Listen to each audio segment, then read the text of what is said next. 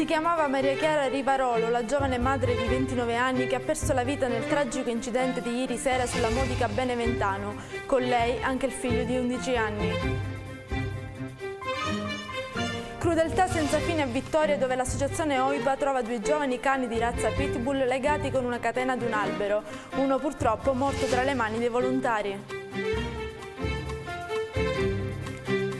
Parto fuori dal comune, quello di ieri pomeriggio all'ospedale maggiore di Modica. Una donna decide di fare la doccia ed è proprio lì che mette al mondo una bimba di quasi 3 kg. Compro sotto casa perché mi sento a casa, questo è il claim scelto dal Commercio Ragusa per aiutare i piccoli imprenditori a sollevarsi dalla crisi economica.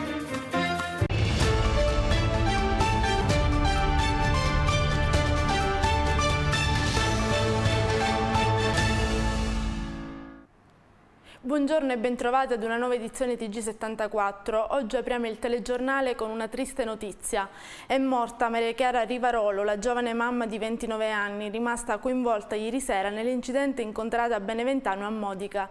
Il figlio di 11 anni era con lei e ha riportato una lesione alla spalla, mentre il giovane ragusano, con la quale ha avuto lo scontro frontale, resta in gravi condizioni.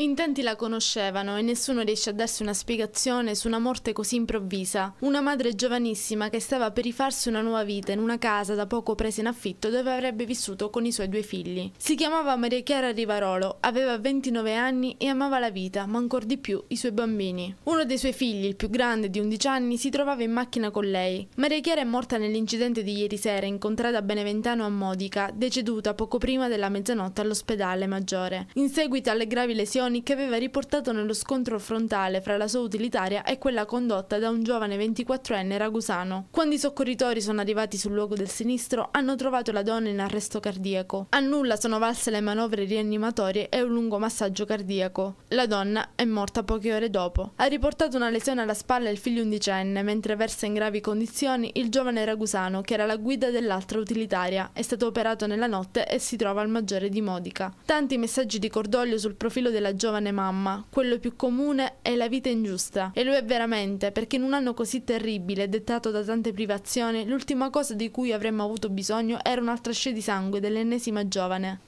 La donna e il figlioletto di 11 anni sono stati estratti dai vigili del fuoco delle lamiere contorte del loro veicolo. Sul posto sono intervenute le ambulanze del 118 che hanno trasportato i due congiunti e il conducente della Ford all'ospedale maggiore. Il 24enne è stato sottoposto a un delicato intervento chirurgico ed è ricoverato in prognosi riservata. Il bambino invece è stato dimesso con una prognosi di tre settimane. Sul posto sono intervenute due pattuglie della polizia locale. L'arteria che collega Modica con Ispica e Pozzallo è stata stata chiusa per alcune ore al transito veicolare. Sono in corso le indagini per ricostruire l'esatta dinamica del pauroso sinistro. Sono stati ascoltati alcuni testimoni visionate le immagini della videosorveglianza. I due mezzi sono stati sequestrati. La salma della povera donna è già stata dissequestrata e restituita ai familiari. Lascia due bambini. Maria Chiara era separata e aveva deciso di ricominciare la sua vita. Aveva affittato una casa ed era scesa poco prima dell'incidente a Modica Bassa per prendere le chiavi della nuova casa. Quella casa dove sarebbero stati felici felici tutti e tre. Amava la vita, una ragazza gioiosa, imprevedibile, amava l'azione, il pericolo, una ragazza schietta e amata, amata soprattutto dalla sua famiglia, da suo fratello e dalle sue sorelle, con cui passava molto tempo ed erano una alla forza dell'altra. Maria Chiara faceva la cassiera in un supermercato. Solo due mesi fa, sempre su quella strada, era morto Piero Modica, il giovane 28enne pozzallese, barista al prima fila. Il 6 gennaio, una donna di 44 anni, ucraina, la vittima del primo incidente mortale del 2020 nel territorio ibleo. I sinistri sinistro si è registrato sulla via Modica Ispica, incontrata a Beneventano. La donna è deceduta poco dopo lo scontro. Ancora un incidente stamani a Modica in via San Giuliano. Un'auto e uno scooter si sono scontrati per cause ancora in fase di accertamento. Sicuramente le condizioni meteorologiche non hanno aiutato ad avere la peggio la ragazza e scooter che è stata subito trasportata all'ospedale maggiore. Sul posto sono intervenuti i carabinieri per i rilievi e per stabilire la dinamica dell'incidente. È successo a Vittoria, due pitbull sono stati trovati legati ad un albero, una è morta tra le mani dei volontari, l'altro è grave. Intanto è stata esposta una denuncia contro ignoti, il referente provinciale dell'OIPA Riccardo Zingaro dichiara di essere incredulo e di non riuscire mai ad abituarsi a questa violenza.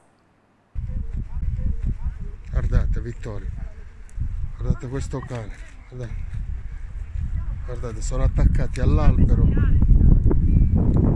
Questa abitazione guardate uno è già moribondo è morta tra le mani e le carezze dei volontari dell'OIPA, attenzioni che probabilmente non aveva mai ricevuto nel corso della sua breve vita. Quella che si è presentata nel pomeriggio di martedì ai volontari dell'OIPA è stata una campagna degli orrori. Due cuccioli di pitbull, un maschio e una femmina di circa due anni, sono stati trovati legati a due alberi con delle catene cortissime e logorate, senza riparo e solo con un po' di acqua accanto. I due cani erano costretti a vivere tra gli escrementi e sicuramente non mangiavano da settimane. La femmina è morta tra le mani dei volontari e a nulla è servito il disperato tentativo di salvarla. Il maschio invece è stato trasferito in un canile, ma rimangono gravi le sue condizioni. Sul posto sono intervenuti anche i carabinieri e i vigili urbani. Riccardo Zingaro, referente provinciale dell'OIPA, ha annunciato che presenterà denuncia contro ignoti. A 10 metri dal ritrovamento dei due pitbull in via Loggia, periferia di Vittoria, c'è una casa, ma i residenti avrebbero detto di non essersi mai accorti della loro presenza. Il ritrovamento di questi cuccioli maltrattati e denutriti ha colpito e deluso Zingaro, che nonostante intervenga quotidianamente per per salvare animali non si abituerà mai a queste terribili scene. Su Facebook si è sentito di lasciare un messaggio. Abbiamo fatto di tutto per salvarti, piccola mia. Vicino a te nei tuoi ultimi minuti di sofferenza hai trovato le nostre mani che ti hanno accarezzato in questa giornata gelida. E ancora, mi scuso io per tutti i miei simili che ti hanno ridotto in un cumulo di ossa. Un apprezzamento va anche a tutti quei volontari che ogni giorno lottano e si preoccupano per questi esseri indifesi. L'augurio di Zingaro è che chi ha ridotto i due pitbull in questo stato venga trovato e paghi per quello che ha fatto, perché possa servire da lezione a chi maltratta gli animali. Il problema è stato che lì vicino c'era un'abitazione, come ho scritto nella denunzia, e la gente è, è omertosa verso queste cose. Quindi il mio appello è a eh, contattarmi, il mio numero è su, nel sito del, dell'OIPA. E quindi quando ci sono questi casi di, di maltrattamento oppure ci sono delle condizioni dove eh, capiamo che i cani possono essere usati per combattimenti illegali, di contattarmi perché siamo tra l'altro l'unico nucleo di guardie cozofile presenti nella provincia e se fossimo intervenuti prima, se la gente avesse segnalato prima questi cani, avremmo potuto salvarli. Cambiamo pagina, scendono ancora i positivi in provincia Blea, numeri confortanti. Intanto dal governo arriva la modifica del decreto per gli spostamenti tra comuni. Adesso ci si affida al buonsenso degli italiani sperando che i sacrifici fatti non siano stati inutili. Scendono ancora i numeri delle persone positive in provincia Eblea. Ad Acate risultano essere 73 positivi, Chiaramonte Gulfi 38, Comiso 171, Giarratana 6, Ispica 11, Modica 175, Monterosso Almo 17, Pozzallo 44, Santa Croce Camerina 17, Scicli 63, Vittoria 295 e 9 di fuori provincia. Intanto ieri sera dal governo è arrivata la modifica del decreto, ciò che aveva fatto scalpore per l'impossibilità di spostamenti per comuni nei giorni festivi è stato modificato quasi come fosse un favore a chi si lamentava non comprendendo del caso quasi assurdo di tutti i decessi di questi mesi terribili. Ma siamo certi che non ne risentiremo a gennaio? Restano da definire dettagli, soprattutto per evitare che l'allentamento non si trasformi in un liberi tutti. Primo fra tutti il provvedimento che sarà adottato per modificare gli spostamenti. Gli uffici legislativi legislativi di Palazzo Chigi sono al lavoro. L'ipotesi più probabile è quella di un provvedimento ad hoc che modifichi il decreto. Certamente resterà in vigore il divieto di spostamento tra regioni anche se in zona gialla. Resta invece da vedere se ci si potrà spostare solo tra comuni che appartengono alla stessa provincia o anche fuori provincia. Sembra tramontata l'idea di limitare la deroga ai comuni fino a 5.000 abitanti anche per la difficoltà dei controlli. È stata avanzata anche l'ipotesi di consentire la deroga solo per il giorno di Natale. Ricordiamo che in ogni caso anche nei giorni 25, 26 e 1 gennaio sarà sempre consentito il ritorno alla propria residenza, domicilio o abitazione. Intanto Confcommercio e Confersacenti accolgono con favore l'avvio di una riflessione sull'opportunità di allargare le possibilità di spostamento tra i comuni nella giornata del 25, 26 e 1 gennaio, così come richiesto più volte dalle due federazioni. Ormai, dicono i commercianti, è un dato di fatto che il settore della somministrazione è uno dei settori maggiormente colpiti dall'emergenza sanitaria sanitaria e sicuramente ne uscirà decimato nel prossimo futuro. Questa apertura favorirebbe certamente la frequentazione dei ristoranti nelle tre giornate interessate dal provvedimento richiesto proprio per limitare gli ingenti danni che il settore sta registrando. Diversi psicologi a supporto di tutte le persone che si apprestano a trascorrere le festività in quarantena o in isolamento domiciliare. È quanto comunica l'azienda ospedaliera di Ragusa che presenta anche una stanza del tutto insolita e particolare, quella degli abbracci, guardate. Una privazione di cui ci ha fatto soffrire parecchio il Covid è di certo quella della solitudine. La pandemia ha allontanato le persone e privato i soggetti più deboli dell'affetto dei propri cari. Il coronavirus ci ha tolto gli abbracci, piccoli gesti che però chi sta vivendo un momento di difficoltà possono essere vitali. Ed è proprio pensando a queste persone che l'RSA Villa San Giovanni di Ragusa ha voluto creare la Sala degli Abbracci, un posto in cui i familiari potranno tornare a riabbracciare i loro locali nel pieno rispetto delle normative anti-Covid. È stata allestita una stanza che permette un contatto sicuro, in un ambiente confortevole, scaldato dagli elementi che ispirano l'atmosfera natalizia.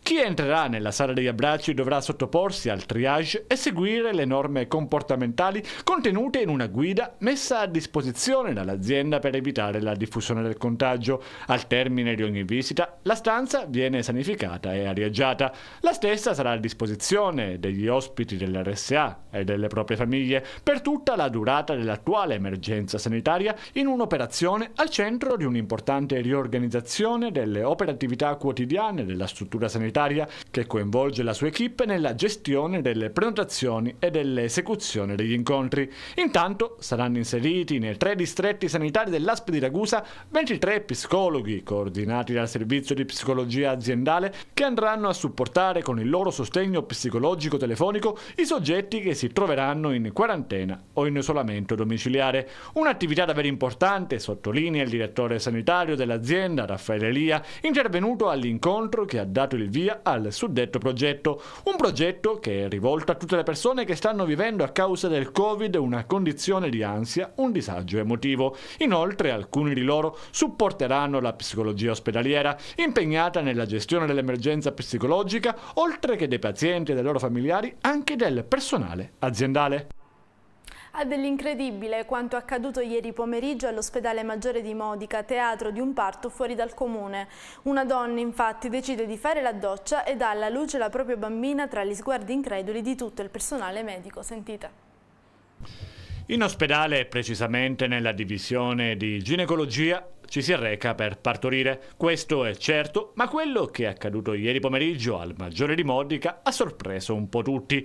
Una donna infatti ricoverata perché in gravidanza, senza avere ancora sintomi, decide di fare la doccia, tutto nella normale routine, se non che improvvisamente si sentono delle grida provenire proprio dal bagno della divisione di ginecologia, grida allarmanti che hanno spezzato la tranquillità del nosocomio. Tra infermiere che preparavano le cartelle, organizzavano il lavoro del pomeriggio, qualche ricoverata passeggiava in corsia e altre erano intente, come al solito, a scambiare due chiacchiere. Tutto interrotto appunto dalle grida disperate della donna che non ha fatto neanche in tempo ad entrare nella doccia ed ecco che accade l'inaspettato. Avverte uno strano bruciore Istintivamente mette le mani tra le gambe e inizia a urlare. Sono attimi di tensione. La poveretta esce dal corridoio gridando la testa. Le infermiere si precipitano pensando a un capogiro della degente e invece non era così. Era proprio la testa di un bambino. Due secondi e viene fuori una graziosa bimba di 2,9 kg,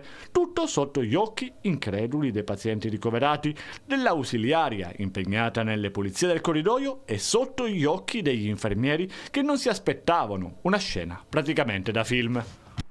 Consiglio Comunale dei Toni Accesi, mercoledì pomeriggio in videoconferenza a Ragusa. Dopo l'approvazione di due punti all'ordine del giorno, la dura presa di posizione da parte dell'opposizione che criticano la bocciatura di diversi emendamenti e accusano l'amministrazione in dittatura.